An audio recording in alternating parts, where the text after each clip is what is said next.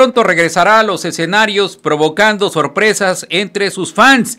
Hace unos días se celebró el séptimo aniversario luctuoso de Juan Gabriel, quien muriera a causa de un infarto en agosto del 2016 en su casa de Santa Mónica, ya en California.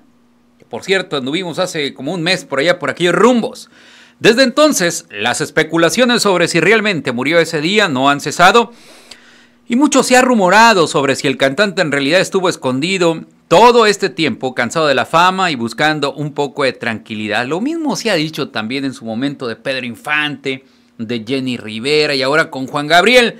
Pues esos rumores han tomado fuerza luego de que en redes sociales se filtraran unos audios en los que supuestamente el cantante revela que no murió y que pronto regresará a los escenarios, provocando sorpresas entre sus fans.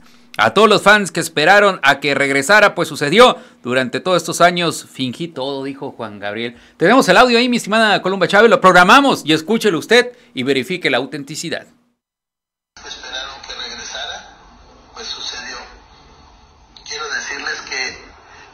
hecho cargo de mí es eh, Joaquín Muñoz.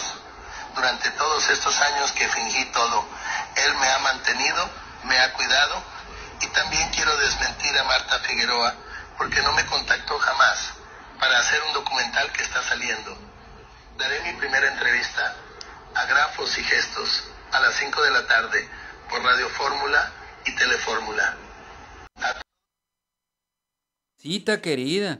Y bueno, por si fuera poco, en sus redes sociales oficiales fue compartido un misterioso mensaje con el que se confirmaría su regreso a la música con una canción inédita. Al parecer el nuevo sencillo saldría en septiembre, o así lo dejó ver precisamente en la publicación.